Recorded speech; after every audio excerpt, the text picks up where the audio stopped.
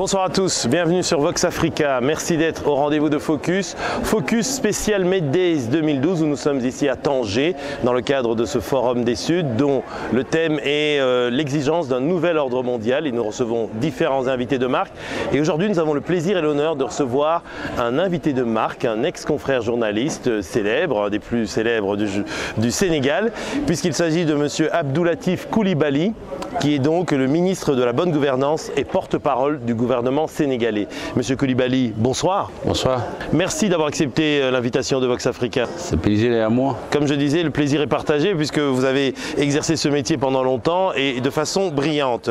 Alors aujourd'hui, vous avez sauté le pas, comme on dit. Vous êtes entré au gouvernement euh, sénégalais euh, pour être ministre donc, de la bonne gouvernance. Est-ce que ce n'est pas vouloir être un peu la bonne conscience du gouvernement? La bonne conscience du gouvernement, je ne crois pas. Je ne me serais pas engagé si j'avais le sentiment euh, que le président Macky Sall m'a fait venir à ses côtés euh, pour faire de moi un faire-valoir. Non, je ne crois pas. J'ai assez discuté avec le président.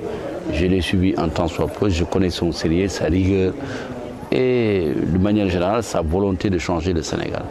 C'est la raison pour laquelle, quand il m'a appelé auprès de lui, d'abord comme ministre conseiller à la présidence de la République, je n'ai pas un instant hésité. Et quelques mois après, je me suis rendu compte que j'avais raison d'accepter son invitation. Pourquoi? Parce qu'il m'a fait davantage confiance, et il double cette confiance-là, parce qu'il a fait de moi euh, ministre chargé de la promotion de la bonne gouvernance et en même temps porte-parole du gouvernement sénégalais. C'est quand même une responsabilité double qui pour moi est une marque de confiance, mais un défi également pour le journaliste que j'étais. Exactement. Quand vous avez été justement, comme on dit, celui qui titillait les pouvoirs en place, et hein, on connaît votre, euh, votre œuvre, hein, non seulement les livres, mais aussi votre travail au quotidien en tant que patron de presse. Je veux dire, aujourd'hui, vous êtes de l'autre côté, comme on dit, euh, de la barrière, vous défendez en quelque sorte un pouvoir, et on sait que de toute façon, un pouvoir, euh, par définition, va, comment je veux dire, est amené pas à faire des choses malhonnêtes, mais à, décevoir son, public. Est-ce que vous êtes prêt à endosser cette responsabilité? Écoutez, il faut faire la part des choses. Dans une vie professionnelle antérieure, j'étais journaliste. Il y avait des règles du jeu et il y avait une vision qu'il fallait avoir. Et je dis souvent que j'avais deux engagements. J'avais un engagement professionnel, j'avais également un engagement citoyen. Mais chevillé à des fortes convictions.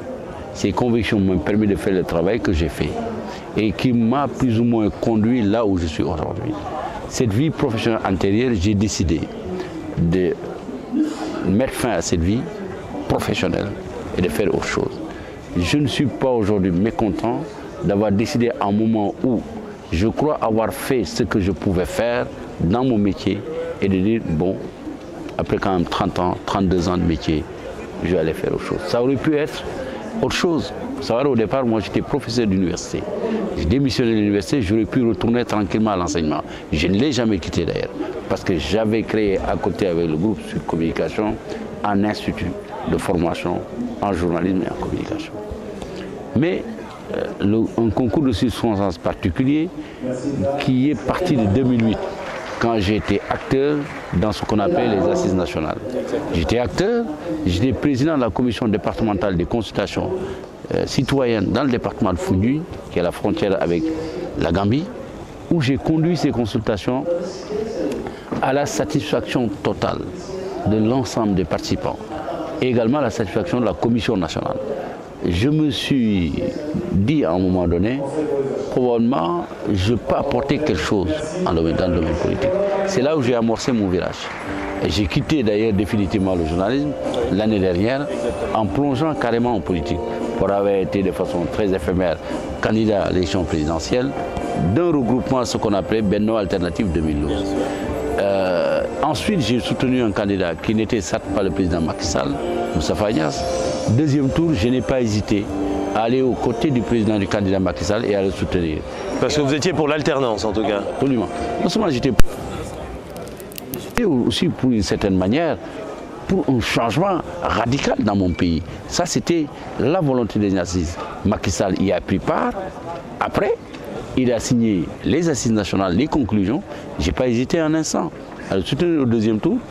Et quand il a fait appel à moi, je n'ai pas hésité un instant. Je suis allé à côté de lui. Je précise d'ailleurs que beaucoup ne le savent pas, mais j'avais des relations extrêmement cordial avec le candidat Macky Sall. J'aurais pu d'ailleurs être dans son camp. Un concours de circonstances a fait que ça n'a pas été le cas. J'ai en souvenir un voyage que nous avons fait ensemble, peut-être six mois avant les élections, en Suisse, où nous avons souvent discuté ensemble pendant presque 15 de jours. Je le connaissais très bien. Et donc vous êtes certain que c'est l'homme qu'il faut à la place qu'il faut? J'ai pas de doute. Si j'avais un doute, si minime soit-il, je n'aurais pas été à ses côtés. Vous savez, être à côté d'un chef d'État, ce n'est probablement pas la première fois que j'ai eu l'occasion. Si je voulais, dans un autre passé, récent, j'aurais pu retrouver le président qui était là très facilement. Vous savez, je, je pense que j'étais intellectuellement, j'étais assez structuré, je crois, pour être quelqu'un qui sert auprès de lui. Et j'avais également des compétences avérées, je crois, modestement. D'autres l'ont fait. Hein, il... était, voilà, il était plus difficile de résister à Blayward que d'être avec lui. Donc si je n'ai pas été avec lui, c'est parce que j'avais choisi de le faire. Parce que je n'étais pas d'accord. Aujourd'hui, je suis d'accord. Je pense que c'est le moment d'y aller. Je suis allé. Alors dites-moi, être ministre de la bonne gouvernance, de la promotion de la bonne gouvernance, euh, ça veut dire quoi? Parce que la bonne gouvernance, ça devrait être, comment je veux dire, le leitmotiv de toute action gouvernementale. Je veux dire, pourquoi devoir brandir comme ça et créer même un département, avoir un ministre qui doit faire sa promotion? C'est-à-dire que ce n'est pas par principe partagé par l'ensemble du gouvernement, tous les ministres dans leur action? La, promotion de la gouvernance, ce n'est pas la promotion d'un concept. C'est la capacité à traduire un concept la bonne gouvernance en une réalité institutionnelle. Tiens, vous savez, la démocratie au début n'a été qu'un concept. La démocratie, quand on parle le temps, qui fait courir tout le monde aujourd'hui. Au début, quand elle a théorisé, ça n'a été qu'un concept. C'est aujourd'hui qu'elle est devenue une réalité institutionnelle. Et je veux que les gens comprennent désormais que la bonne gouvernance doit quitter son statut de concept pour devenir une réalité incarnée à travers une institution qui prend en charge des questions fondamentales qui accompagne de façon transversale tout gouvernement dans la perspective d'aider à asseoir une gestion plus efficace, plus efficiente, plus vertueuse. Et par conséquent, à asseoir une mystique du développement. Alors, exemple, par exemple, vous faites quoi? Donnez-nous un exemple. Euh, oui, allez-y. La question que vous posez me rappelle exactement le débat qu'on a eu dans les années 70 au Sénégal. Quand le président Senghor s'est réveillé un matin a conçu un nouveau gouvernement et a institué ce qu'on appelait le poste de promotion ministre chargé, non, secrétaire d'État chargé de la promotion de la condition féminine. À l'époque, les gens rigolaient, tout le monde se posait la question de savoir c'est quoi la promotion féminine.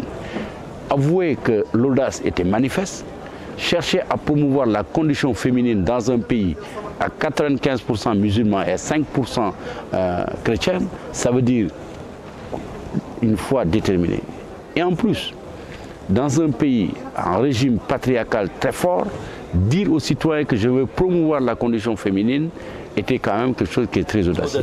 Ça me rappelle exactement quand le président Macky Sall a dit promotion de la bonne gouvernance, les mêmes réactions, c'est votre réaction à vous aujourd'hui. La bonne gouvernance, c'est à la fois une chose qui est simple et complexe. Elle est simple en ce sens qu'elle travaille à mettre en place une structure, une technostructure, à partir de laquelle l'État va assurer aux citoyens les services qui sont dus, mais dans la transparence, dans la crédibilité et dans la vertu.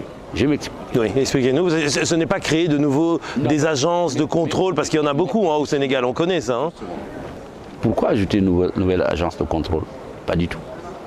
Figurez-vous qu'une des structures les plus en vue au Sénégal, qui est ce qu'on appelle l'inspection générale d'État, qui a la responsabilité de contrôler sur la responsabilité du président de la République, tous les comptes publics du Sénégal, les entreprises, fait par année, mais vraiment de nombreux rapports extrêmement importants. Il y a des aspects qui relèvent de la poursuite pénale, qui ressortit du ministère de la Justice, mais il y a d'autres aspects. Ce qui ressortit du ministère de la Justice, le ministère de la Justice s'en occupe. Et les autres aspects, recommandations, changer tel euh, profil d'entrepreneurs, changer les procédures au niveau de telle entreprise. Mettre en place des règles d'impartialité voilà. dans les nominations. Le rapport est déposé. Il est déposé entre les mains d'un directeur général. Et ce directeur général est appelé à appliquer ce rapport. Évidemment, la tendance naturelle parfois, c'est de poursuivre dans la routine. Il faut bien qu'il y ait quelqu'un en dehors qui vienne dire il y a eu 20 rapports l'année dernière de l'inspection générale d'État. Et il y a eu 500 recommandations. Combien de recommandations ont été rendues effectives? Combien ne l'ont pas été? Pourquoi elles ne l'ont pas été? Il faut bien. Cette même structure publie chaque année un rapport de gouvernance sur le Sénégal et fait un certain nombre de recommandations.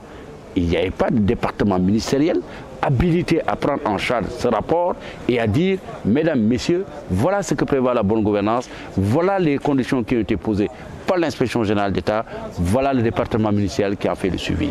Écoutez bien encore. L'évaluation des politiques publiques il y aura une structure prochainement qui va s'en occuper. Mais quand elle aura fini d'évaluer les politiques publiques, ça n'existe pas encore aujourd'hui.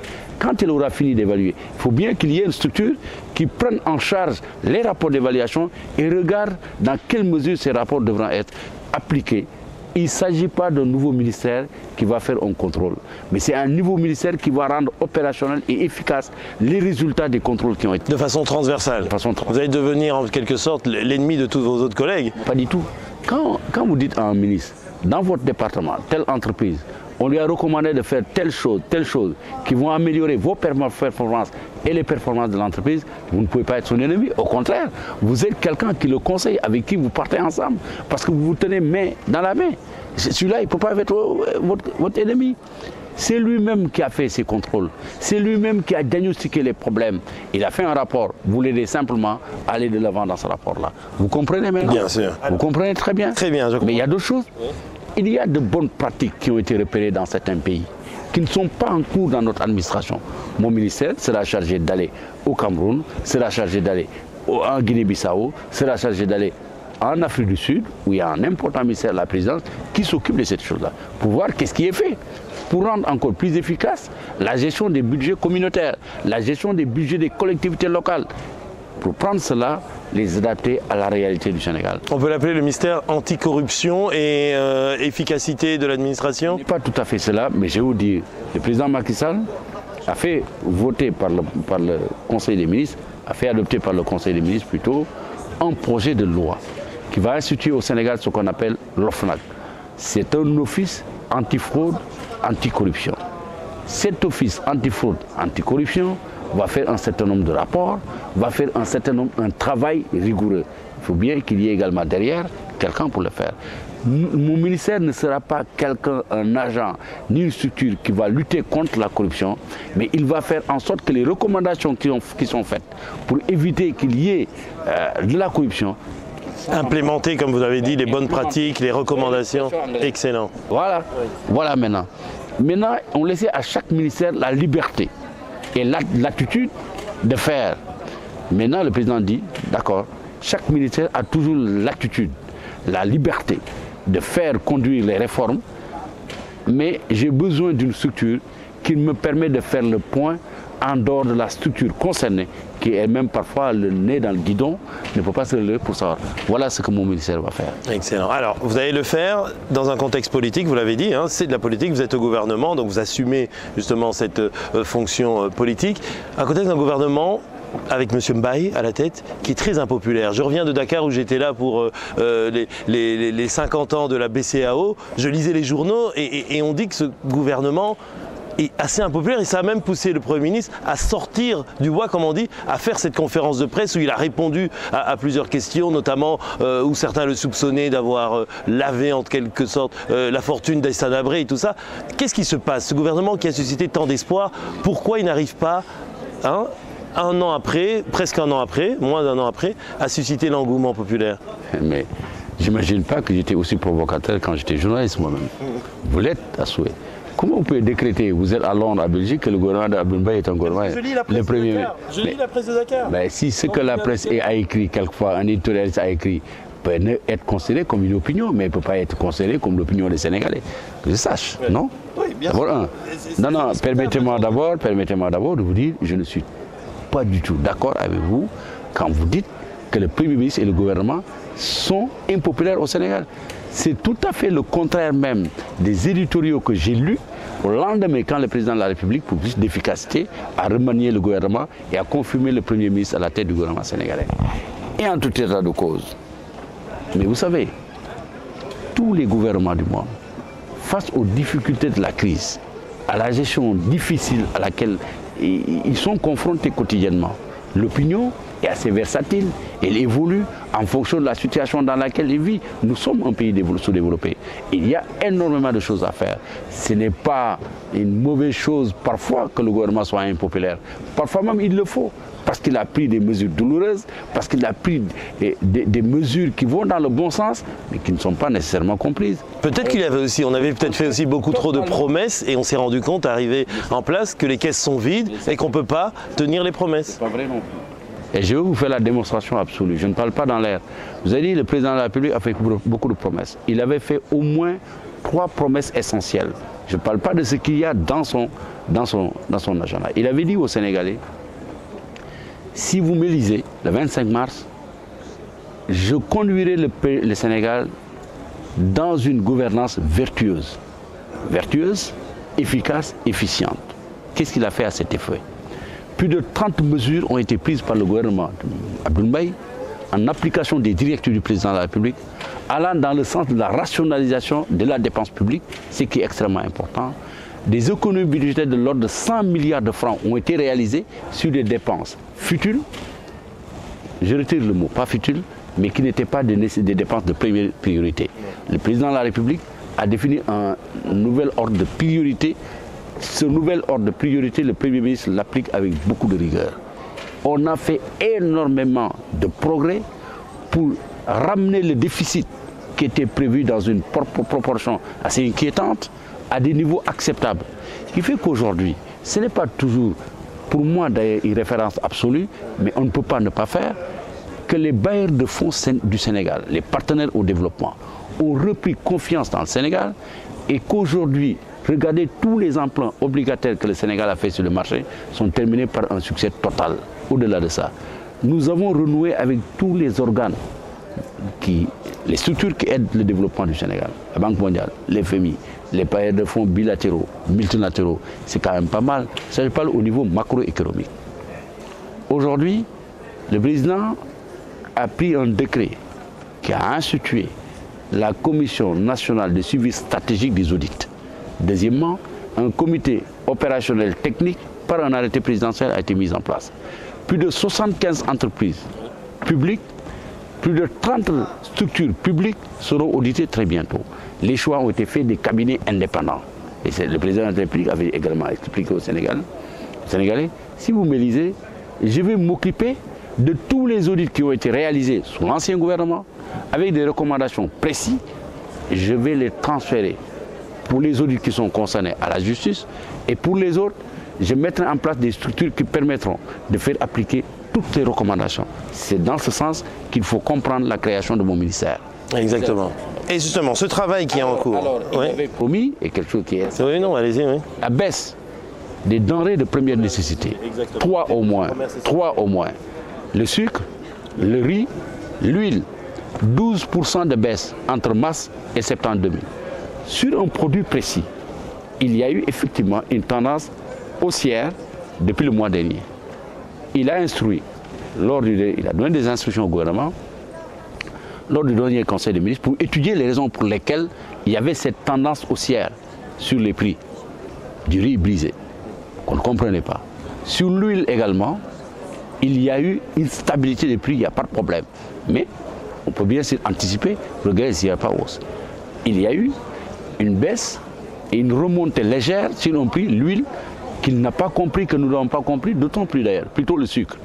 D'autant plus d'ailleurs que le gouvernement a dégagé une subvention de 8 milliards sur ce produit-là. Donc c'est quand même assez important, 8 milliards de francs subventionnés. Mais nous avons noté des variations de prix qui ne sont pas au goût du président de la République, du Premier ministre et de l'ensemble du gouvernement. Voilà, donc quelles sont les promesses qui n'ont pas été tenues? Pour les institutions, au plan institutionnel, le président de la République a mis en place quand même une commission nationale de réflexion des réformes des institutions. Quelle est la mesure, quelle est la promesse qui n'a pas été tenue? Les Sénégalais ne s'imaginaient pas qu'après sept mois, le président de la République donnerait 500 000 emplois aux Sénégalais. Ça, vous-même. non, bien sûr. Non, non, mais il y a une, faut une tendance. C'est clair qu'on ne peut pas créer 500 000 emplois en, sept mois. Le président de la République a demandé récemment, et le gouvernement va le mettre en place, un fonds stratégique, un fonds de financement stratégique, un fonds 6, c'est un fonds qui sera doté d'un capital conséquent, qui sera un fonds de développement stratégique du Sénégal, qui va assurer la participation du Sénégal.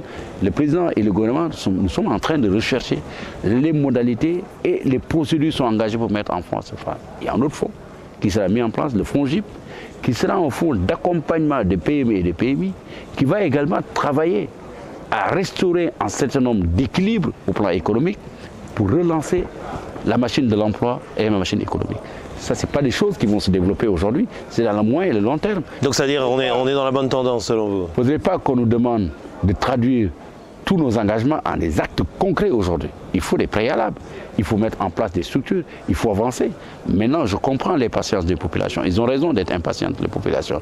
Parce que, euh, évidemment, ils, ils demandent, ils exigent, nous devons rendre compte. Mais je comprends moins, par contre, l'attitude des éditorialistes, souvent des journalistes d'ailleurs, qui quand même font des raccourcis assez faciles. Euh, des raccourcis assez faciles. Si un éditorialiste français attaque Hollande, aujourd'hui à Londres, ils prendront le soin quand même d'analyser objectivement l'économie pour comprendre quelle est la part de responsabilité de Hollande et quelle est la part de responsabilité d'un système. Nous n'avons pas la chance d'un comportement pareil chez nous. C'est de l'amalgame parfois. C'est même les actes sur lesquels le gouvernement n'a aucune responsabilité, qui ont des actes qui ont été posés avant, sur lesquels on exige que nous soyons nous-mêmes hein, comptables. Et ça, c'est un problème. Bien sûr, mais avançons, Monsieur le Ministre. Autre, autre question, je l'ai dit, hein, dans une vie antérieure, vous étiez euh, journaliste, vous avez écrit notamment euh, des, euh, des, livres, vous étiez journaliste avec justement ce souci de l'éthique. On se souvient de vos livres, hein. Wad, un opposant au pouvoir, l'alternance piégée en 2003 notamment, je ne cite pas tous, et puis bien sûr les comptes et mécomptes de l'ANOCI en 2009, qui vous a d'ailleurs eu certains ennuis avec l'ancien pouvoir, Abdoulaye Wad et son fils Karim Wad, le même Karim Wad, ex... Euh, justement responsable de l'ANOCI, ex-ministre d'État avec cinq ministères, a été convoqué par la police récemment, c'était le 15 novembre, euh, par la gendarmerie pour des enquêtes, enquêtes euh, concernant peut-être des soupçons d'enrichissement illicite. Alors, est-ce qu'il n'y a pas là non seulement dans le cas emblématique de Karim Ouad, mais plus généralement une ambiance de chasse aux sorcières au Sénégal? Quelle chaussère les sorcières, celles, ceux qui sont pas. On a l'impression que parfois, vous direz, c'est peut-être, c'est peut-être la faute de la presse, mais à lire les journaux, on a l'impression que des gens qui ne sont que soupçonnés sont déjà parfois déjà condamnés par l'opinion pour le simple fait qu'ils sont soupçonnés. Oui. Vous n'avez jamais entendu le porte-parole du gouvernement, jamais entendu le Premier ministre du Sénégal, encore moins le président de la République, se prononcer et faire un commentaire, quel qu'il soit, par rapport à la culpabilité de ces personnes. C'est la presse qui se présente devant les commissariats c'est elle qui se présente devant chez le procureur et dit tel est convoqué à la police. Mais ça, ce n'est pas notre fait. Notre responsabilité, c'est de faire conduire euh, des enquêtes, c'est de faire aboutir ces enquêtes et de présenter les résultats de ces enquêtes à un juge d'instruction au procureur de la République. Ce que le gouvernement du Sénégal a fait. Par contre, s'il y a des commentaires dans la presse qui ont précédé d'ailleurs l'arrivée de Macky Sall au pouvoir. Quand même, tout de même. Ce qui est dit aujourd'hui dans la presse, par rapport à la culpabilité éventuelle ou non culpabilité de ces personnes, comme vous dites. Mais ça a été suffisamment raconté dans les médias avant. La gestion de l'ANOCI, le FESMAN, ce n'est pas le gouvernement du Sénégal qui est sorti pour faire une déclaration. C'est plutôt des enquêtes de presse qui ont révélé tous les problèmes de gestion liés à ça l'électricité. Ce n'est pas le gouvernement qui est sorti aujourd'hui pour dire voilà ce qu'ils ont fait. Oui, mais c'est les journalistes qui ont, qui ont dit, souvent les journalistes qui l'ont dit. Par conséquent, qu'est-ce qu'on nous reproche? De faire le travail pour lequel nous avons été élus. Le président a dit j'apporterai la lumière sur tous ces dossiers-là. C'est dans cet effet qu'il a réactivé la Cour de répression de l'enseignement. Et réactivé. nous n'avons fait que nommer un procureur la juridiction est revenue en l'état. Donc l'institution était en quelque sorte en léthargie, vous l'avez réactivée pour qu'elle fasse son boulot. Qu'est-ce qu'on pourrait nous reprocher? De faire appliquer la loi sénégalaise? De faire en sorte que ce qui est prévu dans la législation soit appliqué? Ce qu'on veut pour penser, monsieur le ministre, c'est ce que, ce que monsieur Karim Rad dit. Il dit on m'a convoqué, on me parle de 100 milliards de francs CFA de détournement, euh, ce qui est énorme, hein, parce que ça représente presque le, budget du pays. Il dit, et puis quand on me convoque, on me parle d'achat de voitures, d'achat d'appartements. Il dit en fait derrière tout ça, c'est des procès politiques. Vous dites quoi? Vous savez, la loi sénégalaise dit quelque chose qui est, qui est clair. Quand vous êtes attrait devant la juge, au niveau même au stade des enquêtes préliminaires, vous avez le droit de tout dire, y compris des mensonges. Je laisse à Karim Ouad la responsabilité de dire ce qu'il dit. Notre responsabilité, nous, c'est de veiller à ce que les procédures se terminent et que tous les droits de la défense de Karim Ouad ou de qui que ce soit soient respectés par toutes les juridictions concernées. Que Karim Ouad dise des choses, c'est son droit le plus absolu. Nous sommes dans un pays démocratique tout de même. Karim a le droit de dire n'importe quoi pour sa défense. Est-ce qu'il a le droit de quitter le pays? Le juge le dira. Vous avez dit, les juges, les juges qui ont charge de ce dossier, ce n'est pas à moi, ministre, de dire s'il a le droit de quitter ou non. Parce que le Sénégal est un pays organisé. Vous savez, rappelez-vous, le président Macky Sall, il a été Premier ministre. Il est sorti, il a démissionné de l'Assemblée nationale. Il, a parti, il est parti. Trois jours après, on l'a convoqué à la division des investigations criminelles. Vous ne l'avez jamais entendu dire autre chose qu'il a répondu.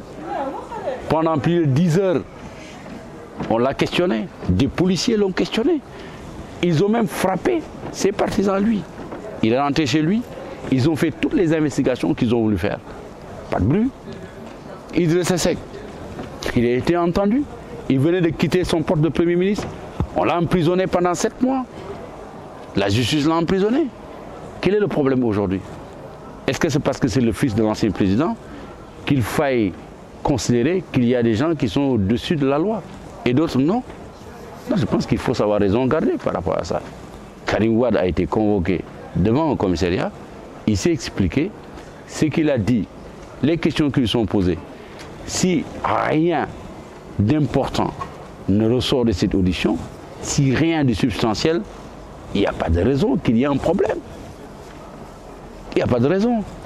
Merci beaucoup, Monsieur Abdoulatif Koulibaly, ministre de la promotion de la bonne gouvernance et porte-parole du gouvernement sénégalais. Merci pour cet entretien. Merci à vous, chers téléspectateurs. Merci pour votre fidélité à Vox Africa. On se retrouve prochainement sur la même chaîne. À bientôt. Au revoir.